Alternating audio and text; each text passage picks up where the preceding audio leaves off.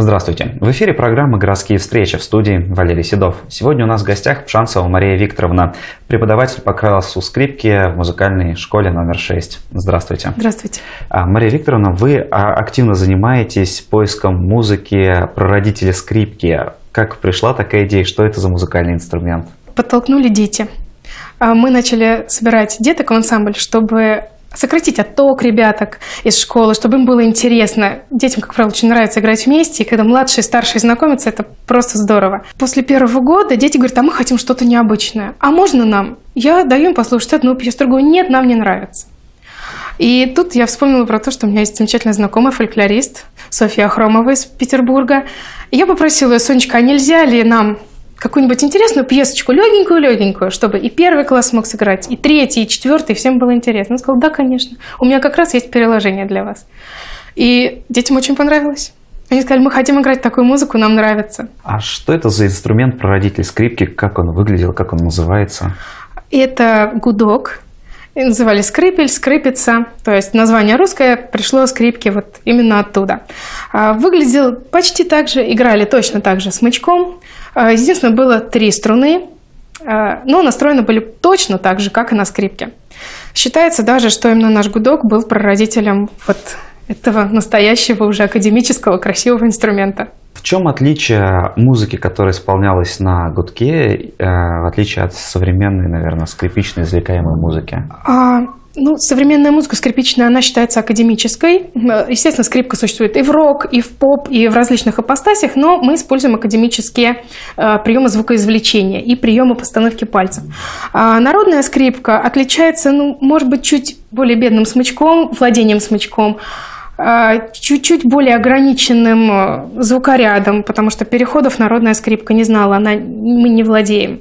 А на тот момент люди не владели всем э, грифом, как сейчас. То есть академическая скрипка, она более технически развита.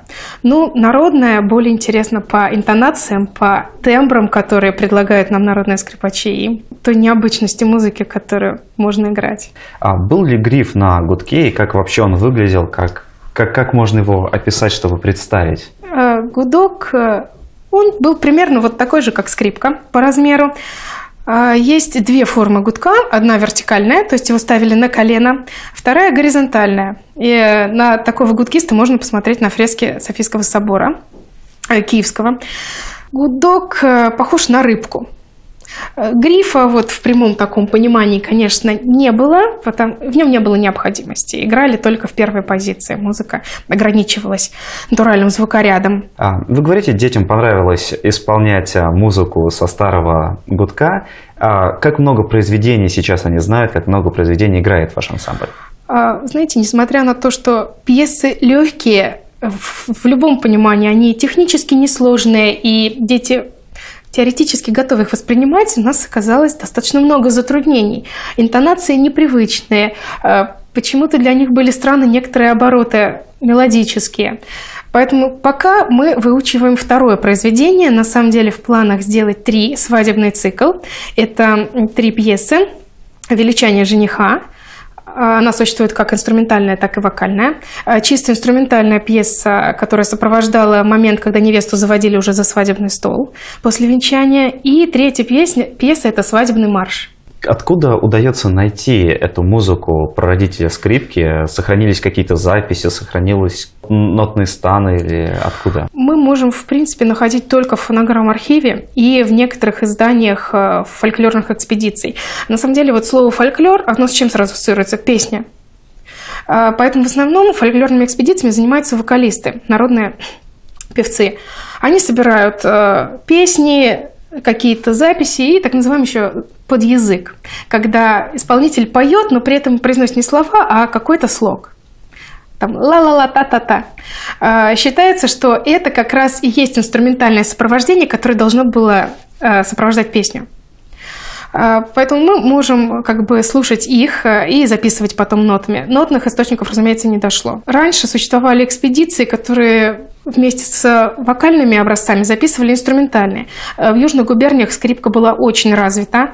Э, казачество, даже Белгородская область, э, сохранились даже до сих пор. Я надеюсь, что есть еще старики, старухи, которые играют на скрипке и сохранили вот, вот это вот наше исконное наследие. То есть все передавалось, опять же, из поколения в поколение с рук. Сейчас в партии Гудка вам помогает ваша знакомая фольклористка или где-то еще в каких-то архивах, библиотеках? На самом деле в Рязани мало, к сожалению, возможностей куда-то обратиться. Это в основном Москва и Петербург, самые крупные центры фольклористики.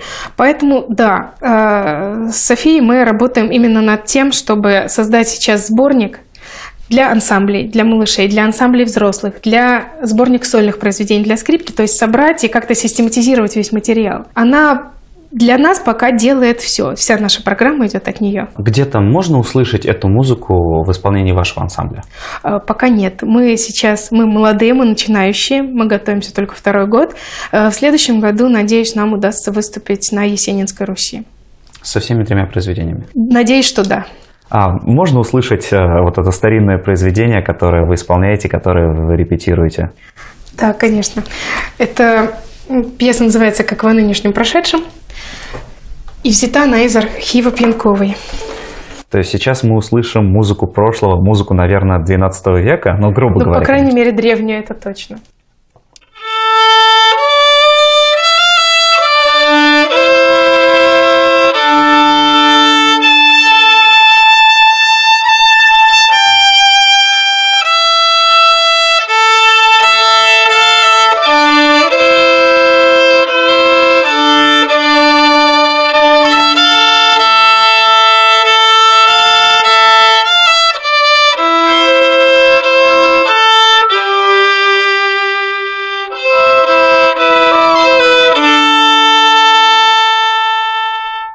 Очень здорово. А вот э, можно вас попросить для сравнения, если можно, конечно, сыграть какую-то современную музыку, чтобы сравнить вот так вот на звучание, то есть, может быть, какой-то отрывок академического или народного?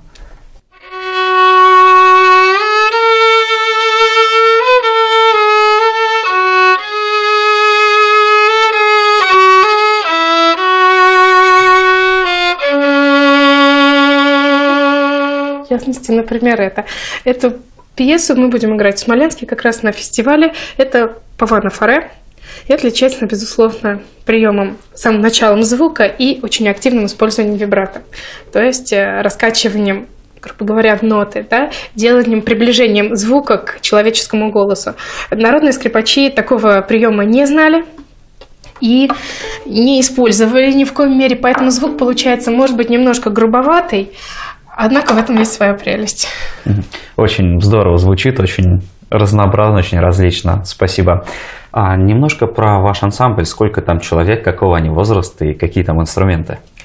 Наш ансамбль чисто скрипичный. У нас нет даже фортепиано. Мы изгнали фортепиано из своих рядов. Возможно, когда-нибудь добавим гусли же русский народный инструмент, это будет очень красиво, он очень хорошо сочетается со скрипкой по тембру. А у нас э, в ансамблике 10 человек, от 6 по 1 класс. Первоклассники тоже есть, им это интересно.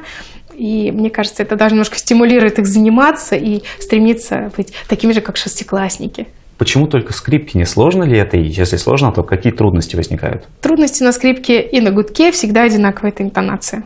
То есть правильно поставить на нужное место палец. У нас, э, как видите, нет ладов, на гудке их тоже не было. Но мы стараемся это успешно решать. Дети все со слухом, дети слышат друг друга, они стараются тянуться и добиваться вот именно того, что не получается. Можно ли услышать ваш ансамбль? А выступаете ли вы где-то? Ну, просто со, со своими произведениями? Да, мы выступаем на конкурсах. В этом году у нас был конкурс в ДК Приокский «Цветик-семицветик». Это был наш дебют.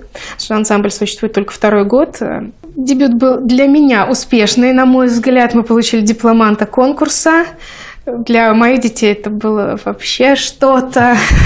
Большая сцена, много людей. Им все хлопали, им дали диплом большой, красивый.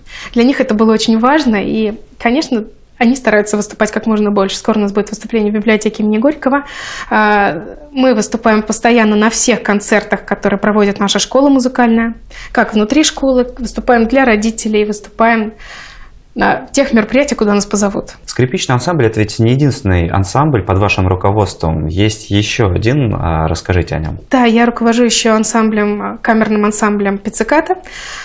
Мы располагаемся при РязГМУ. Основу составляют студенты. Студенты разных национальностей, потому что РязГМУ у нас международный университет. Здесь мы тоже планируем попробовать играть русскую народную музыку. В этом ансамбле у нас есть гусли, у нас есть фортепиано, бас-гитара и достаточно много скрипок. А сколько там а, людей и есть ли сложности? То есть одно дело это а, разные музыкальные инструменты сыграть между собой, а здесь люди разных национальностей, им сыграться. Да, но кроме того, они еще и медики, они очень много времени посвящают своей основной, овладению основной профессией.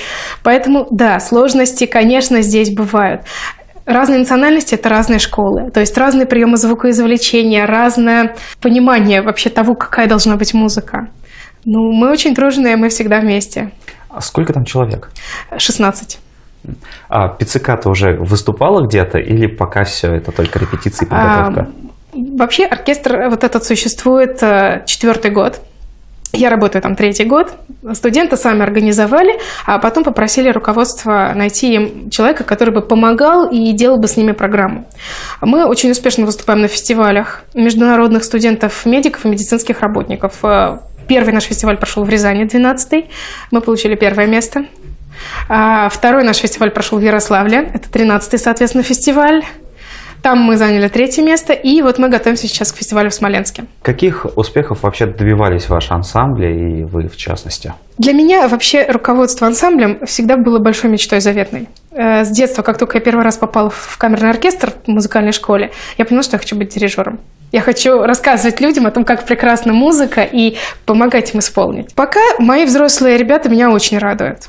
У нас все шансы получить первое место и в Смоленске, мы обещаем нашему вузу, что не постраним его честь. А малыши э, это более перспективное, конечно, дело, потому что они маленькие, они только развиваются, они только учатся вот это все понимать, они более непосредственные. И да, я тоже надеюсь, что Есенинская Русь будет для нас, хотя и очень быстрым, резким, но стартом. Были какие-то выездные конкурсы, то есть а, кроме перечисленных, какие-то дальние города, дальние регионы? Нет, пока больше не было. Мы только начинаем. А планируете ли останавливаться на гудке или есть планы на другие народные старинные музыкальные инструменты? Пока других планов нет, э, потому что мои дети загорелись идеей сделать гудок самим. Идея выступила девочка э, из третьего класса, которая сказала, я хочу играть на такой скрипке, мне вот такая не нужна, дайте мне вот, вот эту. Мне она больше нравится. Сейчас мы сушим дерево, еще несколько лет оно будет сушиться. Потом мы попробуем силами родителей детей сделать из него гудок. Ну, а дальше будет видно. Может быть, они захотят чего-то нового и заставят меня двигаться дальше. А какая технология изготовления гудка? Вот сушка дерева, какое нужно дерево, сколько лет? То есть не дней, не месяцев, а лет, его нужно сушить. И как дальше? -то?